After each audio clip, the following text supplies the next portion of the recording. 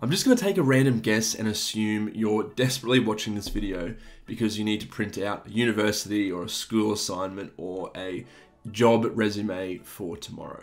If that's the case, you've come to the right place because hopefully this video is going to show you how to resolve any and all issues with the printer you're trying to fix. Now, printer issues can be quite complicated, so it's important that we actually take a step back and sort of examine the whole situation and start from the top down.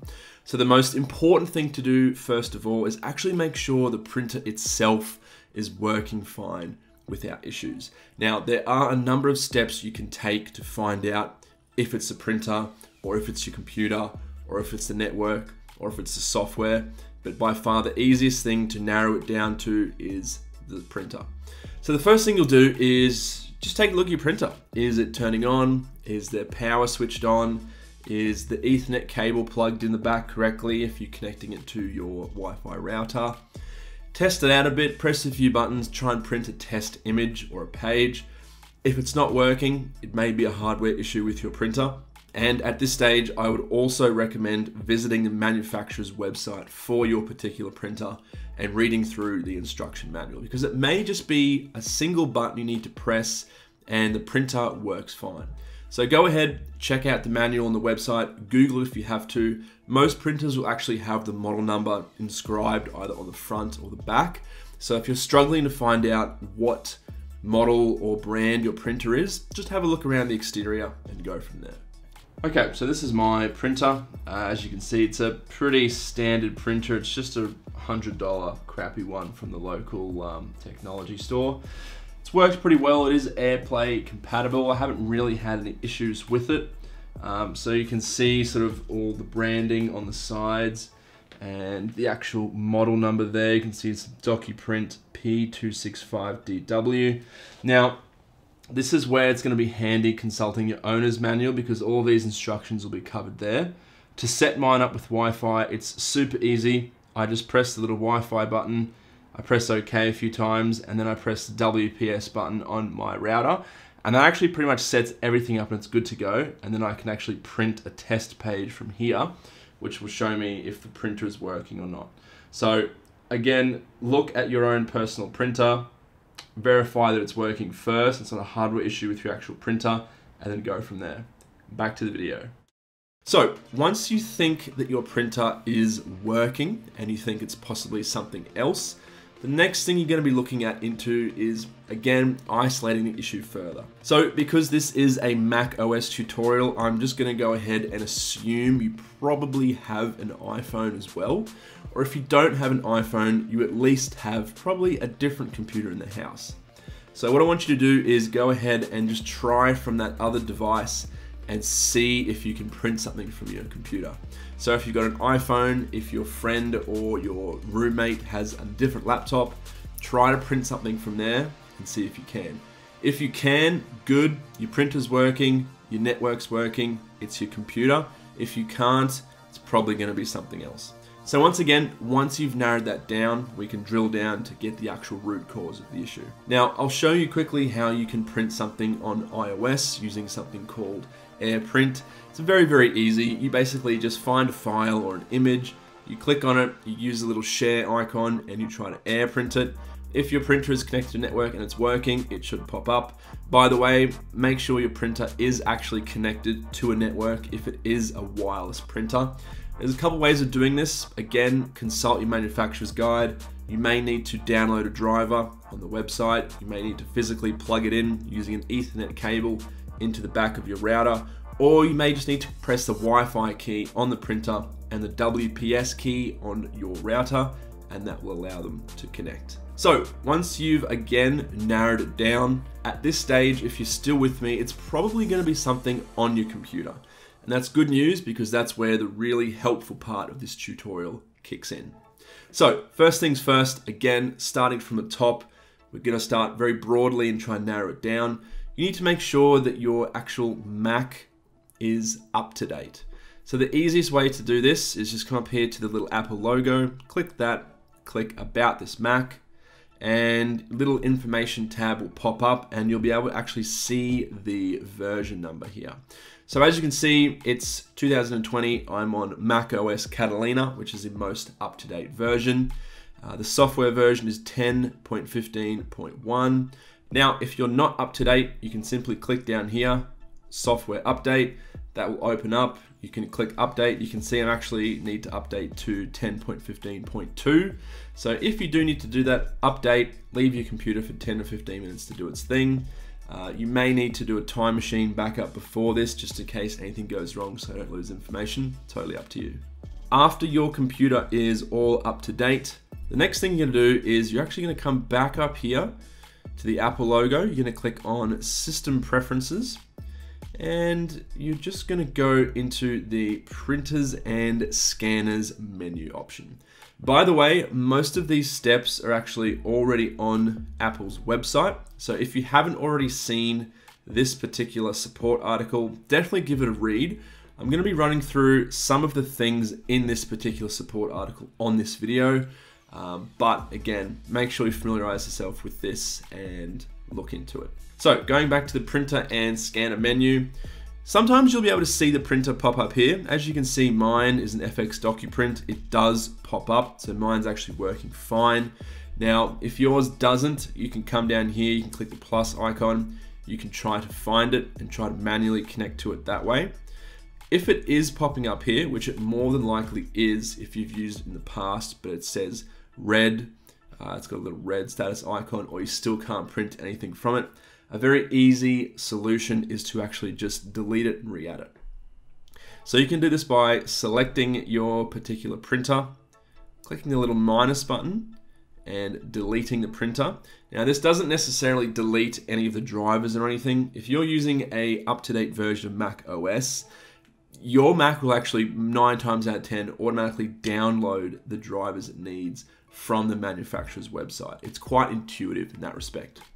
So now that your printer is gone, we're gonna try to re-add it. So we're gonna come down here and we're gonna click add, add printer or scanner, and hopefully you'll have a little nearby printer uh, menu pop up which will show your particular printer. If not, you can click add printer or scanner and you can try to search for it manually. As you can see here, it's coming up already. So I'm just gonna select that. And as you can see here, it's gathering printer information.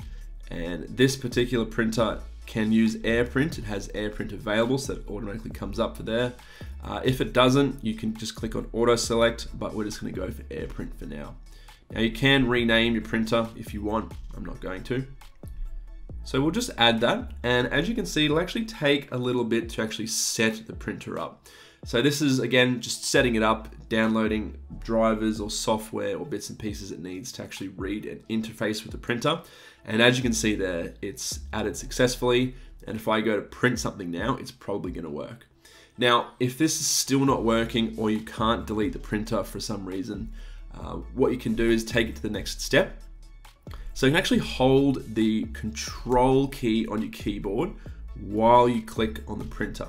And now you can see you actually get a few more options popping up, which will give you a little bit more room to move. So you can actually reset the entire printing system. Now this is a little bit more extreme than simply removing a printer because this will actually reset a lot of the settings to default and try and clear out any cached drivers or anything in the system.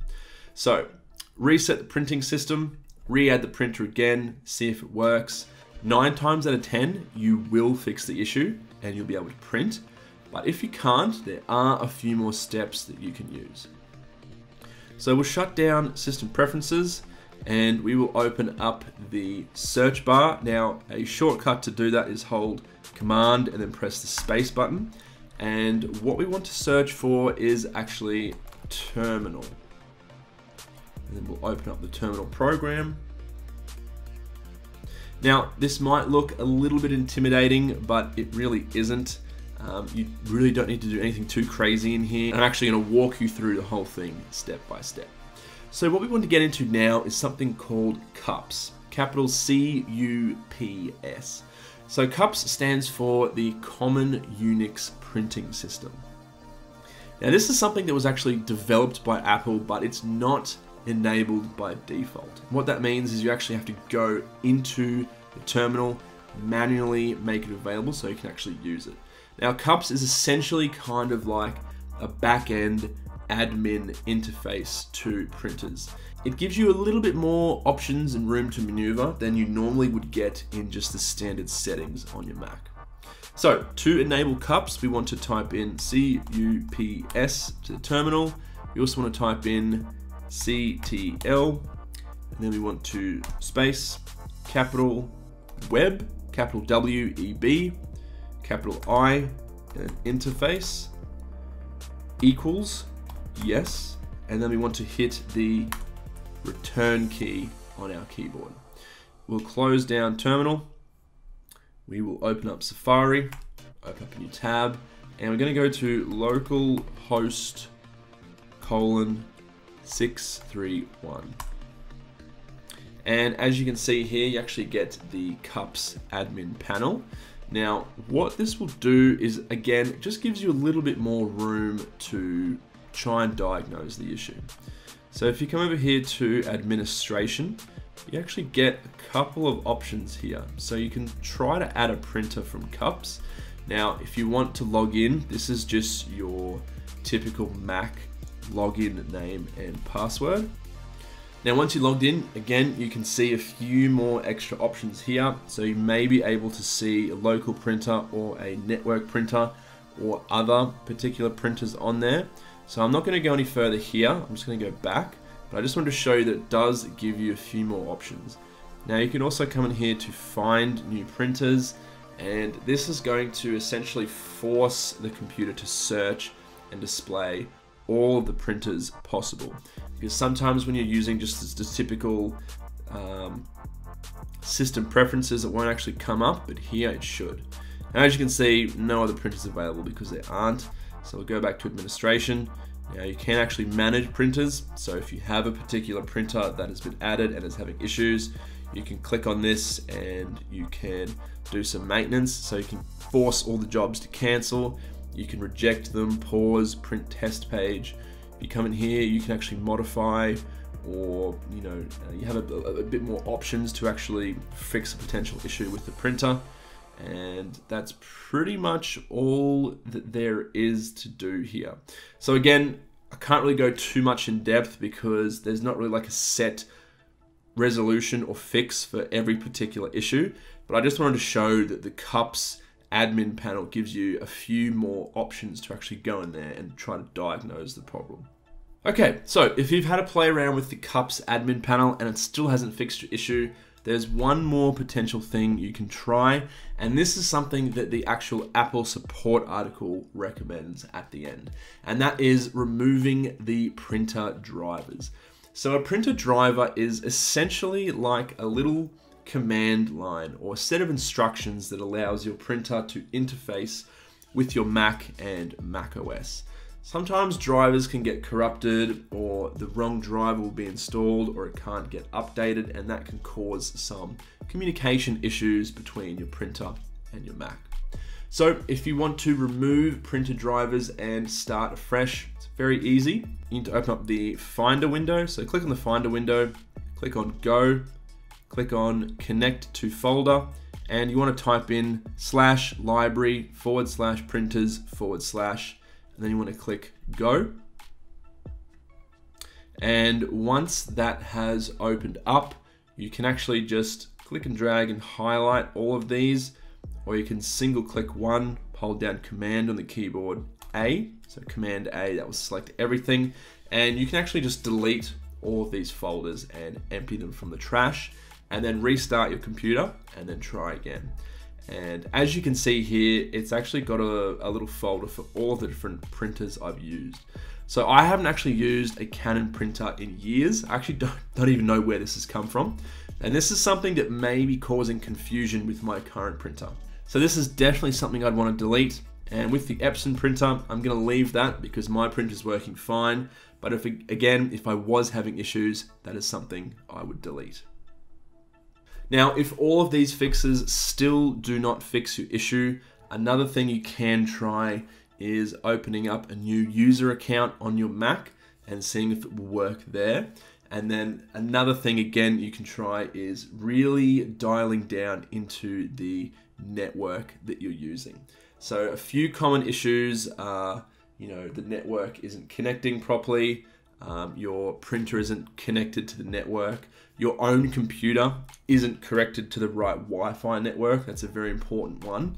A lot of places, houses, apartments, etc., will have different Wi Fi networks or different bands of network. So you might have a 2.4 gigahertz or a 5 gigahertz band, and they can sometimes be classed as two separate networks. So you want to make sure that your printer, if it is wireless, is connected to the exact same network that your particular computer is connected to. So an easy way to test that out is to come up here to your Wi-Fi symbol, click on that, and you want to make sure that your the network you're connected to is the same as the one that your printer is connected to. So as you can see here, I'm connected to the 5 gigahertz version of our home Wi-Fi. And if you go into the printer, there will be a button or some instructions that you can go into and actually print out a test page. And that will show you what network your printer is connected to, if it is connected to a network. So that's it from me guys. I do hope that this tutorial has helped you out. I hope you're able to print out that important document, smash your assignment or your test or your job interview tomorrow. And if this has helped you, leave a like, and I'd also appreciate if you guys left some feedback or some comments in the comment section because I do read every comment. And I will also try to chip in and help if you guys have any further issues. But without further ado, thank you guys for watching, and I will catch you in the next one.